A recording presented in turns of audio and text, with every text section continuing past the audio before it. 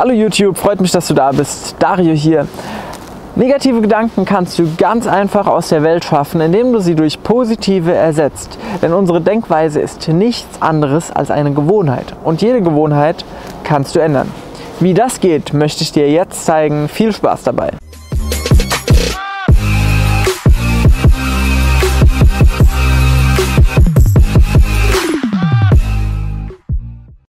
Die meisten Menschen haben heute und gestern die gleichen Gedanken. Ganz einfach aus dem Grund, weil du heute und gestern das gleiche Problem hattest. Meistens ist es nämlich so, dass sich ein Problem nicht von heute auf morgen löst. Wir haben meinetwegen eine Klausur, eine Prüfung, über die wir nachdenken. Und bis zu dem Zeitpunkt, wo diese Klausur endlich geschrieben, werden, geschrieben ist, haben wir ständig diese Klausur, an, an die wir denken, dieses Problem.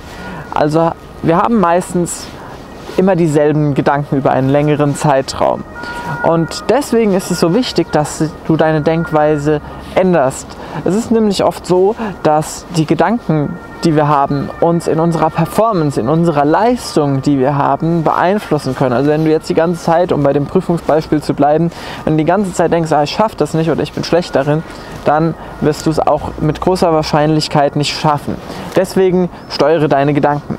Und hier kommt jetzt der Tipp, wie das funktioniert. Du kannst deine Gedanken als eine Gruppe Soldaten meinetwegen sehen. Und die Soldaten können entweder für dich kämpfen, um dein Ziel zu erreichen, sie können gegeneinander kämpfen, was in einem Verwirrtheitszustand von dir endet, also dass du nicht so ganz genau weißt, was du tun sollst. Oder im schlimmsten Fall, sie können gegen dich kämpfen, indem du dir eben sagst, ja, ich bin schlecht, ich verkack das oder so etwas.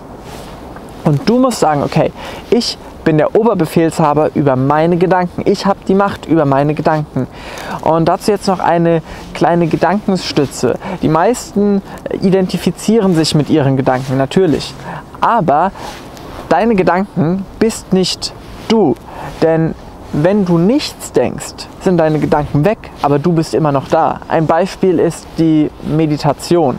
Also wenn du meditierst, dann denkst du an gar nichts und du bist ja immer noch eine Person aus Fleisch und Blut, aber deine Gedanken sind weg.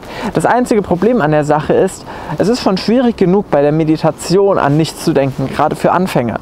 Wenn du jetzt aber diesen diesen Geisteszustand bewahren willst im Alltag, wo ständig Informationen auf dich einprasseln, ständig Leute mit dir reden, das ist echt verdammt schwierig.